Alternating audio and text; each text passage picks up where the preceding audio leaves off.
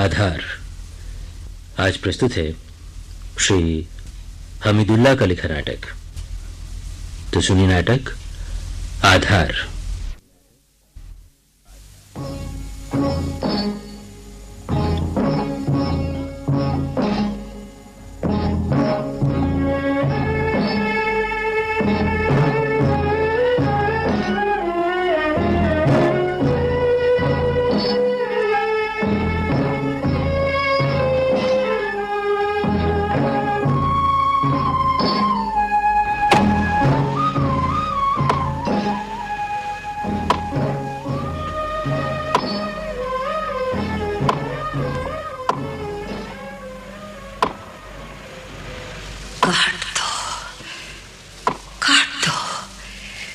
इस छायादार पेड़ को भी काट दो।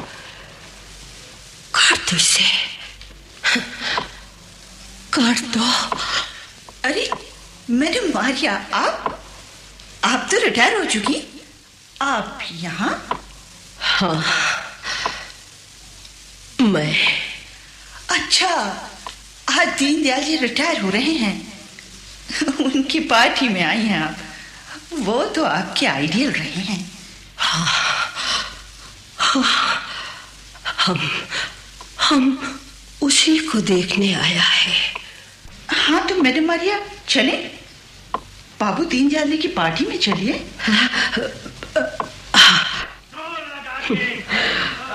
वो भी तो एक छायादार पेड़ था।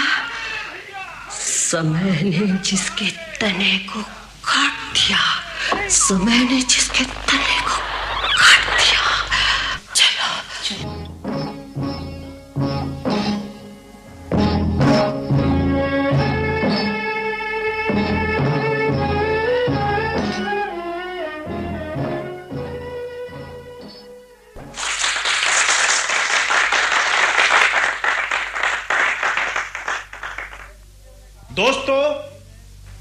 शेक्सपियर ने कहा है all the world is a stage all the men and women merely players they have their exits and entrances and one man in his lifetime plays many parts आज हमारे दफ्तर के बड़े बाबू दीनदयाल जी रिटायर हो रहे हैं। इस मौके पर हम उनके सुखी जीवन और दीर्घायु होने की कामना करते हैं।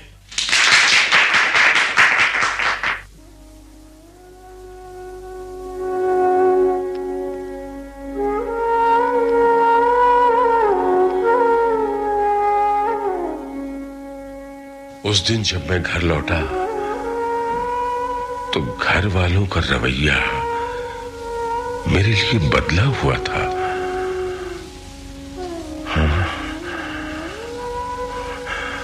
और और कुछ ही दिन बाद मुझे यह महसूस होने लगा, जैसे रिटायर होने के बाद मैं घर वालों के लिए एक बेकार की चीज़ होकर रह गया हूँ। अपने अपने जिस घर को बनाने और अपने जिन बच्चों को पालने के लिए मैंने अपने हाथ और पैर लहूलुहान किए थे, वही वही मुझे घर के लिए बेगाना और बेकार समझने लगे थे। ज़िंदगी भर यही तो हुआ था। कबूतर के तोल के बराबर मैं अपने जिस्म का गोश्त काट कर बास को सौंपता रहा, ताकि वो कबूतर की जान बख्श दे। मैंने अपने जिस्म का एक बड़ा हिस्सा काट कर तराजू पर रख दिया। लेकिन लेकिन कबूतर वाला पड़ला फिर भी भारी रहा।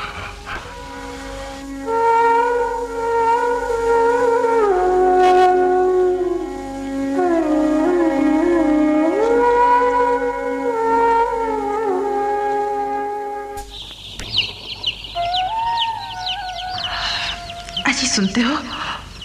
उठो। सवेरा हो गया। उठो ना। सवेरा हो गया। अभी कहा? अभी तो रात है। सोने दो सिद्धू सर्दी बहुत है आज। है तो। क्या वजह होगा? पाँच बजे होंगे। घड़ी देखो? बत्ती मत जलाओ। बच्चे जग जाएँगे। सुबह जल्दी तैयार करके स्कूल भेजना है उन्हें। अरे भाई अभी तो पिताजी भी नहीं उठे। बत्ती तो जल रही है उनके कमरे की। जब से माँ का देहांत हुआ है रात भर बत्ती जली रखते हैं। ठंड बहुत है आज। अच्छी तरह रजाई ओढ़ लो। अरे तुम तो तप रही हो। बुखार है शायद? दो तीन दिन से तबीयत कुछ यूँ ही सी है। तुम भी तो आज तीन दिन बाद दौरे से लौटे हो। सुबह चलूँगी तुम्हारे साथ डॉक्टर के पास। पिताजी को साथ लेकर चली जाती पिताजी? हाँ शीतल तकलीफ़ बढ़ाना अच्छा नहीं होता। और फिर पिताजी तो घर पे थे ही। उनसे कहा होता। पिताजी की बात छोड़ो। किस काम के रह गए हैं वो अब? सिर्फ़ सुबह दूध लाना होता है डेयरी से बच्चों के जल्दी जाने की वजह से। वो भी वक्त से नहीं होता उनसे। सुबह से बस पूजा पाठ में लग जाते हैं। जब बार बार याद दिलाओ तब कहीं उठकर जाते हैं दूध लाने के लिए। कितनी बार तो बताया है तुम्हें। मेरी माँ भी इनसे ज़िंदगी भर परेशान रही। खुद मर गए और अब हम झेल रहे हैं इन्हें। फिजूल में एक कमरा रोके पड़े हैं। मैं तो बस ये जानती हूँ उनकी वजह से हम हर महीने एक कमरे के किराए का नुकसान उठा रहे हैं। हाँ।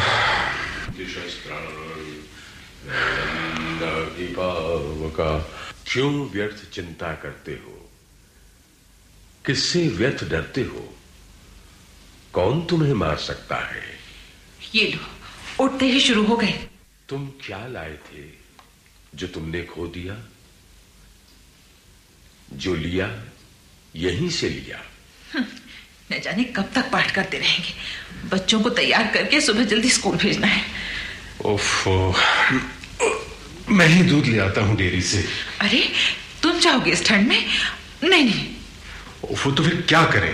पिताजी तो पाठ कर रहे हैं वक्त लगेगा उसमें। तुम आराम करो। शामी को तो दौरे से लौटे हो। काफ़ी थके हुए भी हो।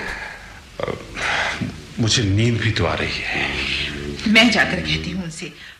क्यों व्यर्थ चिंता करते हो? जो हुआ अच्छा हुआ। जो होगा अच्छा ही होगा। चिंता तो आपके इस पाठ से होती है। इस घर में आपके रहते कभी कुछ अच्छा नहीं हो सकता। बंद कीजिए पाठ अब। तुम्हारा क्या जाता है? तुम क्या लाए थे? जो लिया यहीं से लिया। हाँ हाँ जानती हूँ। अपने पिता के घर से मैं कुछ नहीं लाई। ये सब कुछ आपका है। मैं तो खुद यही कहती हूँ मेरे इस घर में है ही क्या? आप इस तरह ताने मारेंगे ऐसी आपसे आशा नहीं थी मुझे। अजी सुन रहे हो? आत्मा न पैदा होती है न मरती है। अब क्या हुआ? इस तरह क्यों चिल्ला रही हो? सुनो तो क्या कह रहे हैं ये?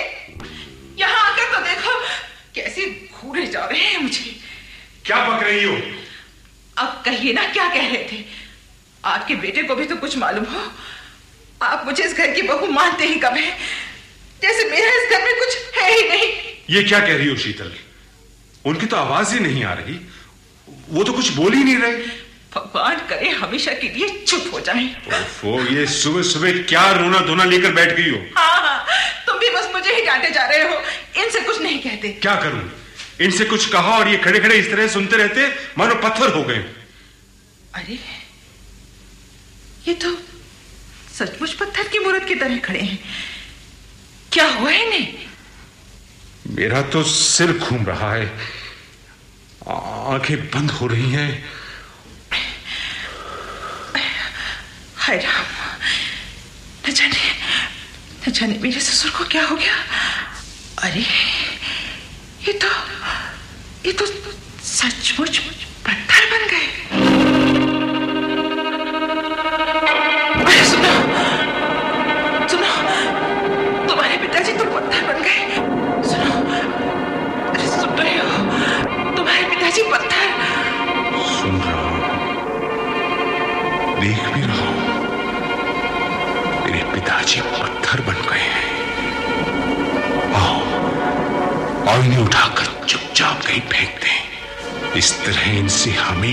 के लिए छुटकारा मिल जाएगा।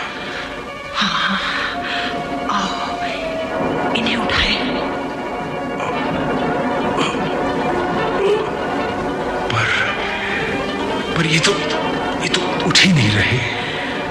अरे ये तो जड़ हो गए। हिलते ही नहीं। अगर ये यही रहे तो इस कमरे का क्या होगा? अरे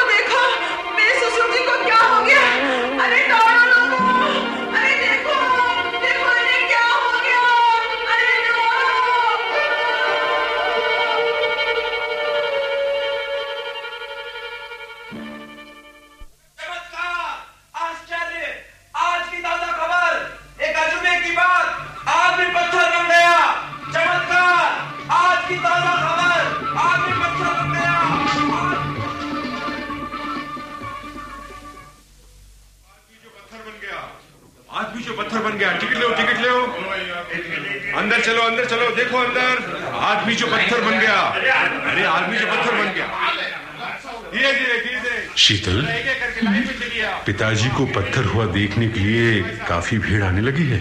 हाँ, हमने उनके देखने पर जो टिकट लगाया है उससे भी काफ़ी आमदनी होने लगी है। सोचता हूँ अब नौकरी करने की क्या ज़रूरत है। मेरी भी यही राय आखिर इस भीड़ को संभालने वाला भी तो कोई चाहिए। तुम्हारी बहन बहनोई हमारे दोनों बच्चे सभी इस काम में लगे हैं। लेकिन लोगों की हर रोज बढ़ती ये भीड़ काबू में ही नहीं आती। ठीक है मैं नौकरी से इस्तीफा दे देता। हूँ। सुनो तुम उस पूरी स्त्री को देख रहे हो? जो छड़ी के सहारे धीरे धीरे इस तरफ़ आ रही है। हाँ ये ये मैडम मारिया हैं। इन्होंने शादी नहीं की। तुम जानते हो इसे? हाँ ये पिताजी के दफ्तर में थी। माँ भी इसे जानती थी। क्यों?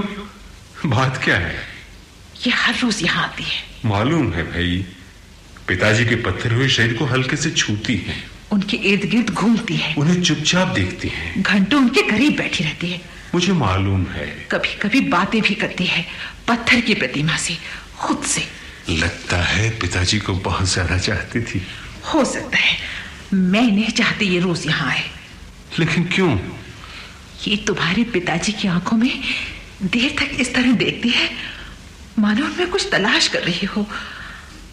उनकी आँखों में इस तरह देखने के बाद इसकी आँखों में अजीब वहशत उतर आती है। इसकी आँखें आग की चिंगारियाँ बन जाती हैं। तब ये मेरी तरफ़ इस तरह घूरती है कि मुझे मुझे इससे डर लगने लगता है। जैसे इसकी जलती आँखों में कुछ सवाल हो। देखो देखो, इधर ही आ रही है। Hello madam Maria. कैसे हो बेटे? ठीक हूँ। मैडम ये हर रोज आप यहाँ क्यों आती हैं? दीन दयाल मेरे आदर्श थे। आदर्श जड़ हो गए। तुमने उन्हें नुमाइश बना दिया। अपने फ़ायदे के लिए उन पर टिकट लगा दिया। मैं टिकट खरीद कर आती हूँ। इसमें तुम्हें क्यों एतराज़ है? अ, वो आप घंटों पिताजी की पत्थर बनी प्रतिमा के पास बैठी रहती हैं। उनसे बातें करती रहती है। हमें अच्छा नहीं लगता। मुझे अच्छा लगता है। मेरा यहाँ आना। दीनदयाल को भी अच्छा लगता होगा। आप ये कैसे जानती हैं? आत्मा अमर है बेटी। जिसे ज़िंदा है वी बिलीव इन इट आखिर मेरे ससुर आपके आदर्श क्यों थे? आपको उनसे क्या सरोकार था? क्या दिया उन्होंने आपको? जानना चाहती हो तुम तो सुनो उस आदमी ने मुझे अकेले ज़िंदा रहने की ताकत दी। वरना वरना ये शहर छोड़कर मैं कभी की चली गई होती। उन्होंने दुनिया की भूखी नज़रों से मुझे बचाया। उनकी टपकती गलीज लार से मेरी हिफाजत की।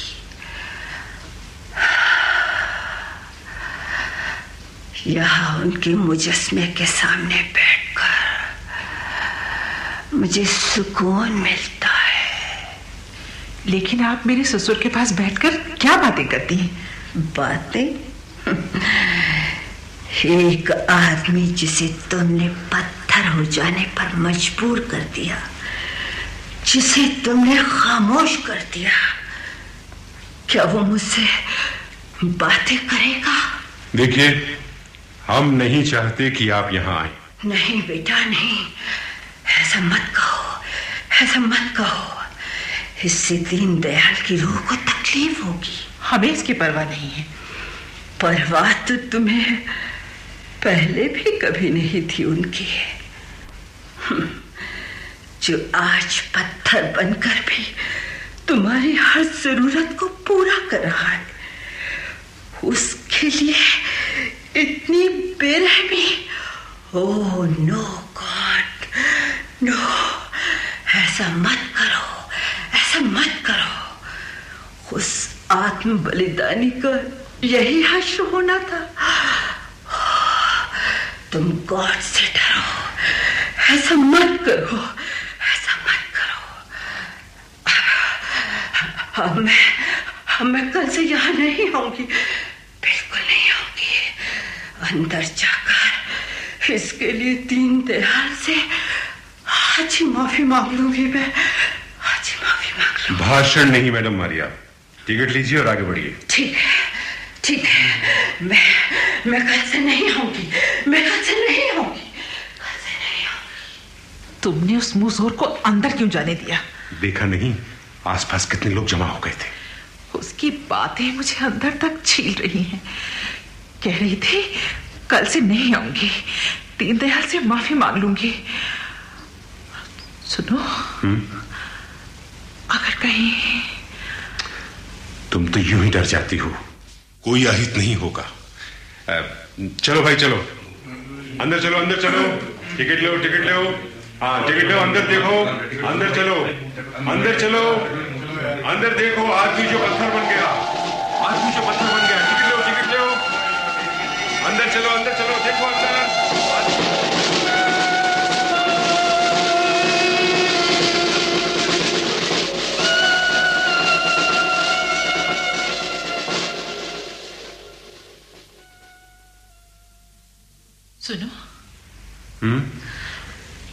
वो शाम को बाज़ार से कैल्शियम की गोलियाँ लेते आना। क्या? यानी यानी तुम ये तो खुशी की बात है। है तो लेकिन लेकिन क्या? आज मैं जब मंदिर गए क्या हुआ वहाँ? वहाँ कथा हो रही थी। फिर? अहिल्या प्रसंग चल रहा था। श्री राम के चरणों के स्पर्श से वो पत्थर से जीवंत हो गई थी। सो तो है। कहीं कहीं मेरे गर्भ में पलने वाला बालक। कैसी बातें करती हो शीतल हाँ? हरगिज नहीं मैं चमत्कार की बात कर रही हूँ। जैसे मेरे ससुर पत्थर बन गए। अगर मेरा होने वाला बच्चा भी संयोग से कोई चमत्कारी जीव हुआ और उसके छूने से ये पत्थर से जीवित हो गए तो हमें बहुत नुकसान होगा। अरे तुम भी अपनी नौकरी छोड़ चुके हो। हम तो बर्बाद हो जाएँगे। नहीं ऐसा नहीं हो सकता। ऐसा नहीं हो सकता शीतल। चमत्कार हर रोज नहीं होते। लेकिन अगर हो गया तो? तो तो हम सचमुच बर्बाद हो जाएँगे। नहीं नहीं कभी नहीं। मैं नहीं चाहती ऐसा हो। नहीं नहीं, ऐसा नहीं होना चाहिए। कभी नहीं कभी नहीं। हमारे परिवार में कोई राम नहीं जन्मेगा। कोई नहीं जन्मेगा।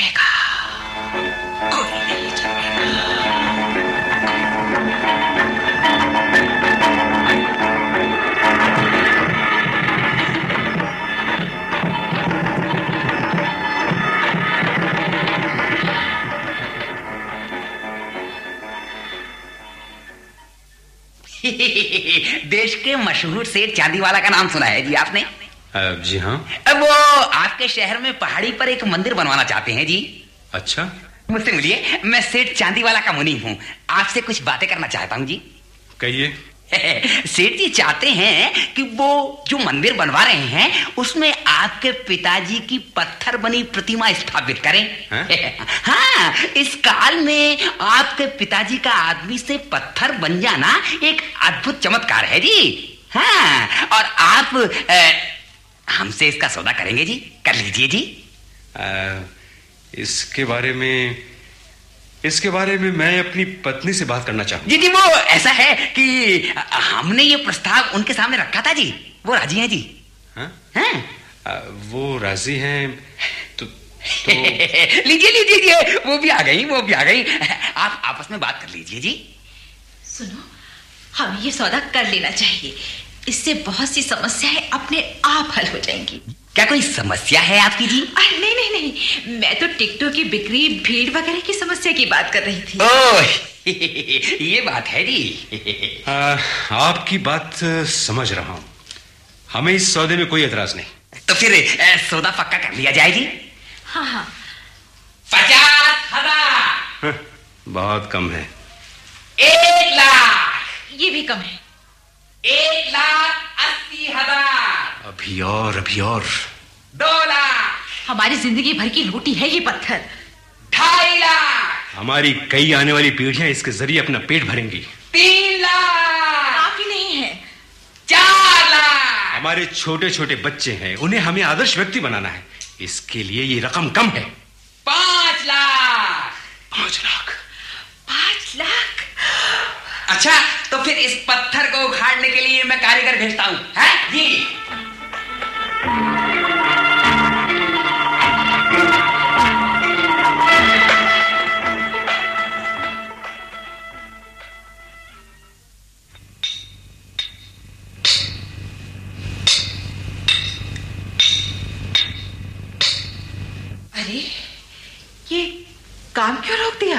इन्हें छेनी हथौड़े से उखाड़ने की तमाम कोशिशें बेकार हो गई जी। आ, कोई और तरकीब सोचें? वही तो सोच रहा हूँ जी। उखाड़ने में सफल नहीं हुए तो। जो सौदा किया है वापस लेना होगा जी। आ, वो एडवांस जो रकम पेश की दी है ना जी वो आपको लौटानी होगी। नहीं नहीं ऐसा नहीं होगा। तो इन्हें उखाड़ने में हमारी मदद कीजिए जी। आ, हम भी कोई तरकीब सोचते हैं। हाँ, हाँ? पूरी कीमत तभी दी जाएगी जी जब ये पत्थर यहाँ से उखाड़ कर मंदिर में स्थापित कर दिया जाएगा जी। अब क्या करें? करें क्या? उखाड़ने के लिए कुछ ना कुछ तो करना ही होगा। तुमने कुछ सोचा? सोच भी लिया है इंतज़ाम भी कर लिया है। कैसा इंतज़ाम? वो सामने देखो। हाँ ये ये तो बड़ी करौत है। हाँ उठाओ इसे। इसका एक सिरा तुम पकड़ो। हाँ ये ये पकड़ लिया। खेलो। एक सिरा मैं पकड़ती हूँ। अब? अब इसके पैर काट दो। ये ठीक रहेगा। ये ठीक रहेगा। ये लो काम शुरू हुआ। कट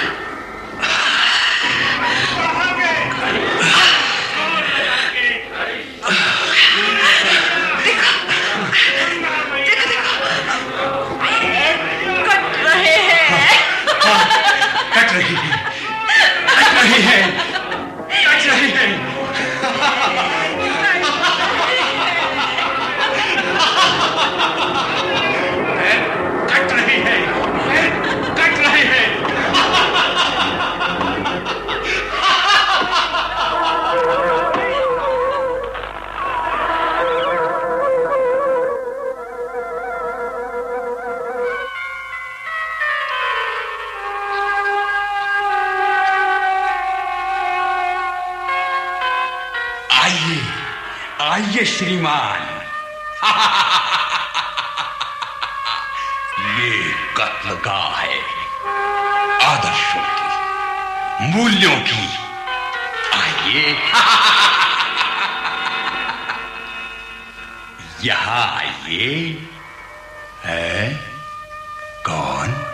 हरीश जी आइए।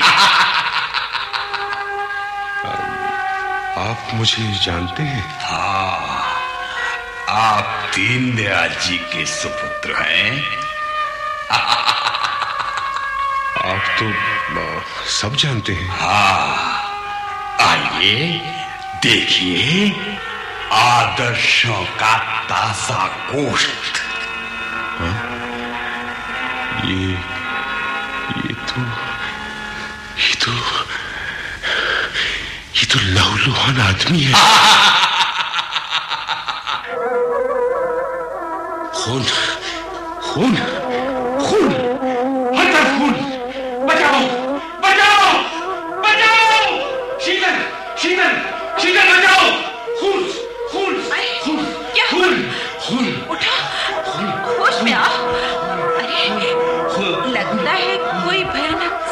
देख लिया है। खून खून ये ये ये आदर्शों का खून है।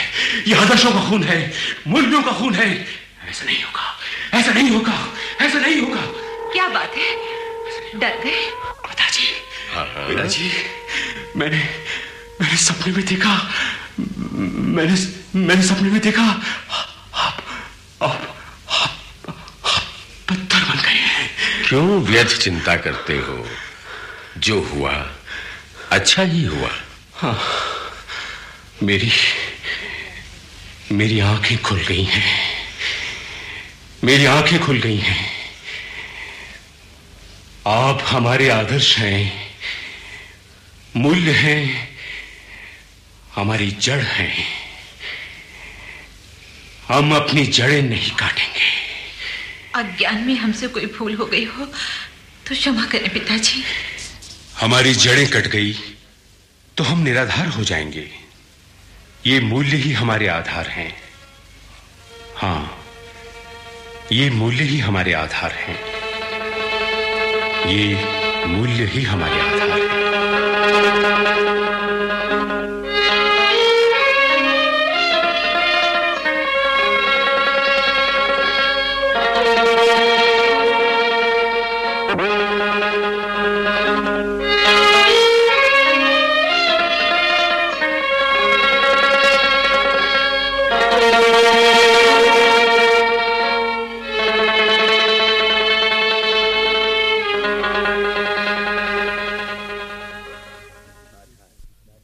आधार। ये आपने, श्री हमीदुल्लाह का लिखा ये नाटक सुना। निर्देशक थे मुमताज़ शकीब, प्रस्तुतिकरण सहायक आनंद किशोर माथुर। नाटक में भाग लेने वाले कलाकार थे सर्वश्री मंजुल मुकुल, नंदलाल शर्मा, सुमन माथुर, लता गुप्ता, शशि प्रकाश शर्मा, वासुदेव भट्ट और राजेश गोयल। ये नाटक आकाशवाणी के जयपुर केंद्र पर तैयार किया गया था।